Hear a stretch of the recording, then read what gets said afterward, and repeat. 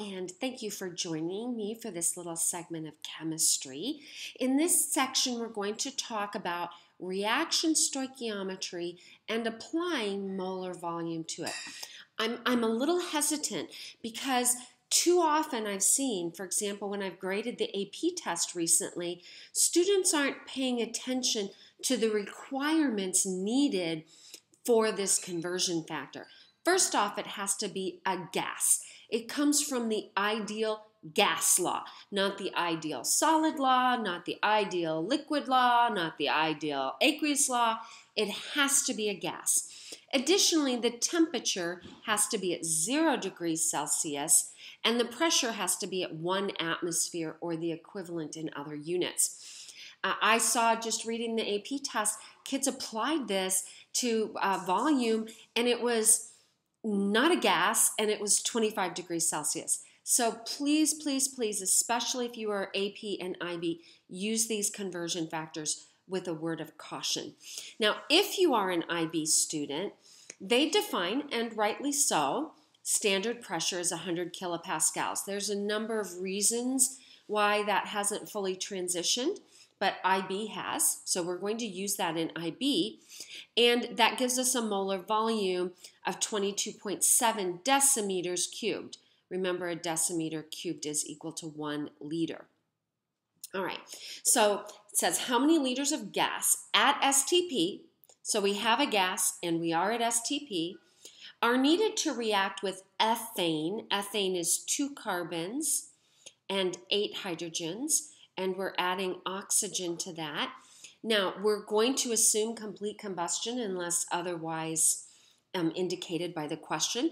Complete combustion is going to make CO2 and H2O. And then we need to balance that. And so we would need a 2 here and a 7 and a 4 and a 6. Okay. So we have 7.98 liters. It's a gas, it's at STP, and we want to go from liters to moles. And it says how many liters of oxygen at STP, moles to moles, and then moles to liters. And both of these are gases, and both of these are at STP. So that um, we have Got that. So now let's make our grid if you like the grid method.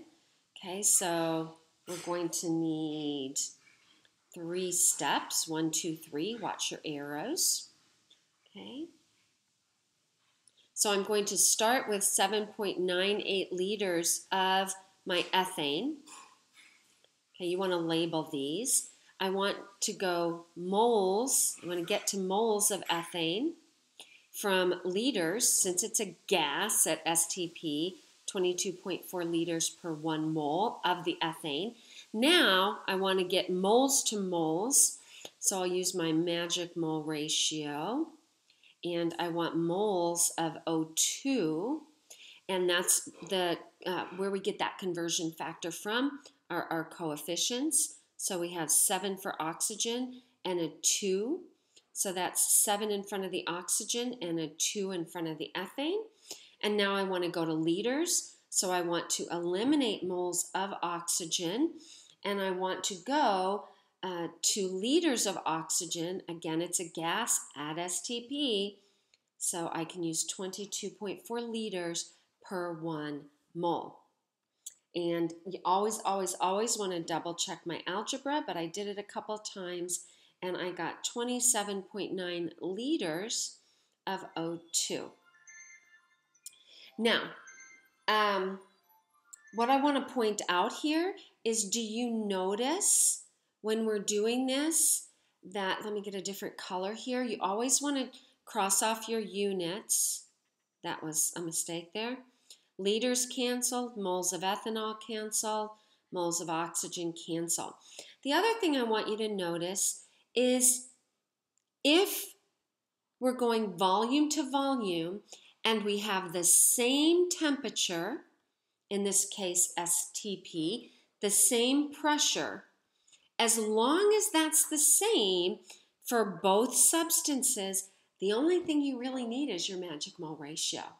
And we'll see an application of this in other videos. But that 22.4 cancels. And so we get 27.9 liters for that. Let's very quickly, now that I've kind of given you some of the caveats, let's very quickly move on to one more example. It's going to take a little less explanation. So I've got hydrogen gas plus chlorine gas is going to yield two hydrogen chlorides. I have 5.33 times 10 to the 23rd molecules of hydrogen. I have excess chlorine. Uh, that's important. We don't need to do a limiting reagent problem with this. And it says how many liters of hydrogen chloride gas at STP would form. Okay, so we've got to get molecules to moles, moles to moles, and moles to liters. Right, so three steps. Get a little bit extra this there. Okay, so 5.32 times 10 to the 23rd molecules, whoops, I missed my two there, molecules of hydrogen. You want to label, especially when you're going from one substance to another substance. I want to get rid of molecules and I want moles. Molecules are something I can count, a particle, so that's where Avogadro's number goes. And that's one mole of hydrogen. Now I want to eliminate moles of hydrogen and I want moles of HCl. There's a 2 in front of the HCl. There's an implied 1 in front of the hydrogen. Now, because it's a gas and because it's standard temperature and pressure, one mole of HCl will occupy 22.4 liters of HCl. Again, you want to make sure your units cancel. Molecules cancel, moles of hydrogen cancel with moles of hydrogen, moles of HCl cancel moles of HCl. And double check my algebra. That's a good way to know you understand the video. I have 39.7 liters of HCl. Okay, that's molar volume applied to reaction stoichiometry. Thanks for joining me. Good luck with your chemistry.